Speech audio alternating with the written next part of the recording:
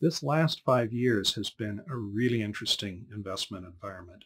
In fact, it prompted us to write a paper a year ago, a year and a half ago, called Yes, It's a Bubble, So What? And the point of that was you can actually define bubble in a fashion that will allow you to identify a bubble while it's happening instead of years after the fact. Uh, we updated that with a piece uh, uh, some weeks ago called Bubble, Bubble, Toil and Trouble, in which we took another look and spoke more in a more focused way about anti-bubbles. Bubbles are markets in which uh, some asset or asset class or sector or segment of the market is priced at levels where it's implausible that it'll deliver a, a risk premium, performance over and above bonds or cash. Uh, implausible unless you use extravagant expectations for future growth.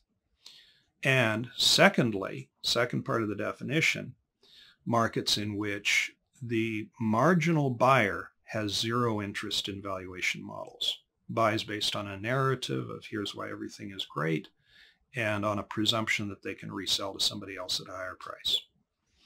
Anti-bubbles would be the opposite markets in which an asset or a sector or a country or an asset class is priced at levels that, that would make it uh, highly improbable that they won't deliver a risk premium, uh, near certainty that they will. Now, the second part of the definition for anti-bubble is the marginal seller doesn't care about valuation models. So whenever we look around and say, is this a bubble? We should also look around and say, are there any anti-bubbles? Now, is it profitable to sell a bubble? Absolutely not until the bubble bursts. You're going to look stupid until the turn happens. Is it profitable to buy anti-bubbles? Absolutely not until it turns. And so it's the ultimate in contrarian investing to try to identify these extreme outliers, the bubbles will go on until they don't. And during that period of time, there's almost no limit to how high a bubble can go. You don't want to short sell a bubble because uh, the losses can just get out of control. But you don't want to own them because they will almost certainly turn. Same thing, uh, the reciprocal on an anti-bubble is you do want to own those. You don't want to overweight them to a point where you can't tolerate the losses. But you do want to overweight them and enjoy the long-term benefits.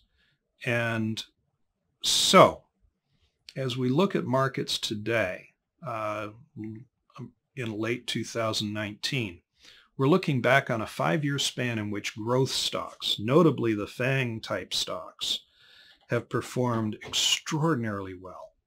Uh, outside the U.S. in the emerging markets, what they call the BATs, Baidu, Alibaba, and Tencent, their tech stocks have performed extraordinarily well. Is this a bubble? For most of these companies, what assumptions do you have to make to earn a positive risk premium?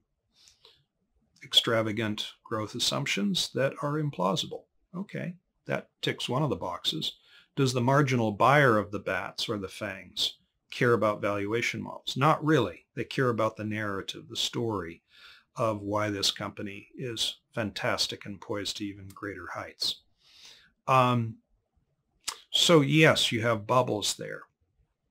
Now, during bubbles, growth stocks trounce value stocks. What does that mean for RAFI? RAFI is a value tilted strategy relative to the market. You're weighting companies by how big they are, not based on how popular, how expensive they are. And by weighting companies on how big they are, if it's a company, a FANG type company, that in fact is a little company trading at lofty multiples, you're going to reweight it way down the deeply out of favor companies in emerging markets, just as an example, the uh, state-owned enterprises we think are in an anti-bubble. People don't want to own them because they don't want to own them. It's not because they think that they're the valuations are too too high. Uh, and so the opportunity for those to be overweighted in the portfolio, um, fundamental index will automatically do that. So because we have this stark value tilt, bringing down the growth stocks and pushing up the value stocks, whenever value loses, we have a headwind. Trailing five-year numbers for RAFI don't look all that good. Well, here's where it gets interesting. RAFI wins not because of its value tilt, but because of contra trading against the market's most extravagant bets. What does that mean? Apropos of bubble stocks and anti-bubble stocks, it means that as a stock soars to new heights, you're trimming it. You're going to look stupid until the turn happens. As a stock tumbles to implausibly low levels, you're going to be topping it back up again and again, and you'll look stupid until the turn happens. But when value is losing, we move into a deeper and deeper value tilt. This year and 2015, two years that bracket the last half decade, um, have been awful for value stocks and value strategies. I have learned over the course of the 15 years that RAFI's been in existence, and I've seen this in country after country, region after region, all over the world. When value's losing, we ratchet into a deeper value tilt so that when the snapback happens, when value rebounds, um, you win back the shortfall in astonishingly short order.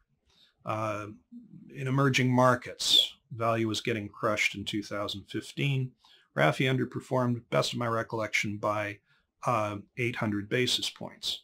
In 2016, it outperformed by well over 2,000 basis points. Well, that's interesting. Now, value underperformed by 8% in 2015 and snapped back by 6%. So value almost recovered its shortfall. We recovered it two, three times over. That's cool. So when I see RAFI underperforming, I actually start to get excited. I start to think, I can't wait to see what happens when the turn happens. Sometimes it feels like waiting for Godot because you're waiting and you're waiting and it's not happening. In the play, Godot never comes. In the real world of investing, does anyone really think value investing is dead forever? Does anyone really think it's going to underperform forever? Of course not. It'll bounce back. And when it bounces back, we'll have the peak value exposure, the deepest value tilt of the cycle. So the snapback can be just wonderful. I can't wait.